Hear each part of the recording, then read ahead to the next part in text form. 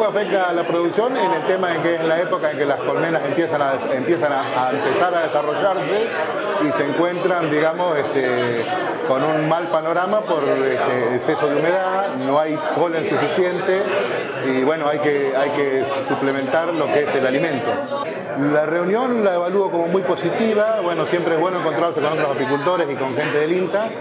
y la, expectativa es que nos han dado una expectativa positiva, digo, no, nos, han, nos, han, nos, han, entendido, han, han, entendido de qué es de lo que hablamos los apicultores, porque muchas veces por ahí no se nos entiende y en la apicultura los tiempos son muy importantes.